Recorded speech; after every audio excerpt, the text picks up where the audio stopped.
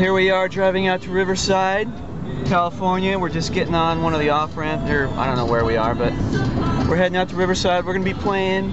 I'm not gonna be playing. Mike Dunn here, Phil Dash 2, is gonna be performing with his tribute band, Human League Fascination, the Human League tribute, opening for Blasphemous Rumors.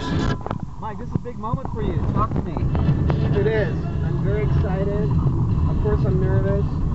We've worked a lot. We've rehearsed a lot. We've worked hard. A lot of preparation. Um, and uh, we're really looking forward to it. We hope we have a really great first show. And uh, it's only the beginning. Only the beginning of something huge, baby. New wave at Romano's in Riverside. And we're on the way, my friend, where it all is going to begin tonight. It is. My first real gig. Romano's, Riverside.